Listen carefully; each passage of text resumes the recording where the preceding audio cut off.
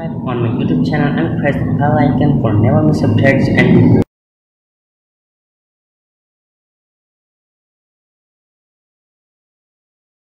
To use a StemGem strawberry huller, just simply depress the green button, out comes the claw.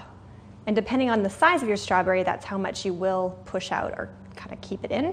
In this case, it's a little bit larger, so we'll push it a little bit more, put it around the stem, let it naturally depress, twist,